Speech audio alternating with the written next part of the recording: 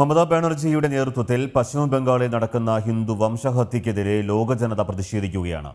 Loss ആഞ്ചൽസിൽ നിന്ന് പ്രസാദ് വളാങ്കുളം തയ്യാറാക്കിയ report.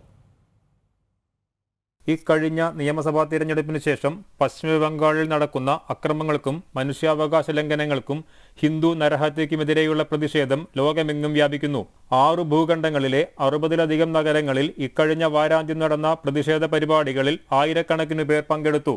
ബംഗാളിൽ രാഷ്ട്രപതി ഭരണം ഏർപ്പെടുത്തുക ഹിന്ദു വംശഹത്യ അവസാനിപ്പിക്കുക മമതാ ബാനർജിയെ പുറത്താക്കുക ബംഗാളിൽ ജനാധിപത്യം സംരക്ഷിക്കുക തുടങ്ങിയ മുദ്രാവാക്യങ്ങൾ മുഴക്കി ഇന്ത്യയുടെയും അമേരിക്കയുടെയും ദേശീയ പതാകകളേന്തി വിവിധ നഗരങ്ങളിൽ നടന്ന പ്രകടനങ്ങൾക്ക് പ്രവാസി ഭാരതീയ സംഘടനകൾ നേതൃത്വം നൽകി.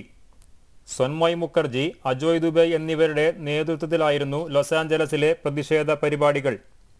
American നഗരങ്ങളായ Atlanta Chicago Dallas Detroit Houston Madison New Jersey Orlando Santiago San Jose Seattle Silicon Valley New York Arkansas Washington D C എന്നിവിടങ്ങളിലും ഭാരതീയ സമൂഹം മമതയുടെയും തൃണമൂൽ കോൺഗ്രസിന്റെയും ക്രൂരതകൾക്കെതിരെ പ്രതിഷേധിച്ചു. ഹേമന്ത് പട്ടേൽ വന്ദന എന്നിവർ ചിക്കാഗോയിൽ നടന്ന പ്രതിഷേധങ്ങൾക്ക് നേതൃത്വം നൽകി. ടൊറോണ്ടോ ഉൾപ്പെടെ പത്തോളം കനേഡിയൻ നഗരങ്ങളിലും പ്രതിഷേധക്കാർ പ്ലക്കാർഡുകളുമായി തെരുവിലിറങ്ങി.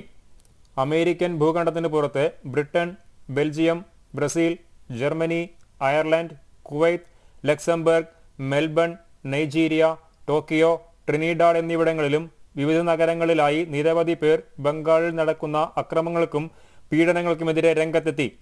കലാപങ്ങൾക്കിരയായ ഗ്രാമങ്ങളിൽ വേരുകളുള്ളവരും കലാപബാധിതരുടെ ബന്ധുക്കളുമായ നിരവധി പ്രവാസികൾ പ്രതിഷേധ പരിപാടികളിൽ സംസാരിച്ചു. ലോസ് ആഞ്ചലസിൽ നിന്നും പ്രസാദ് വളാംകുളം ജനം അമേരിക്ക.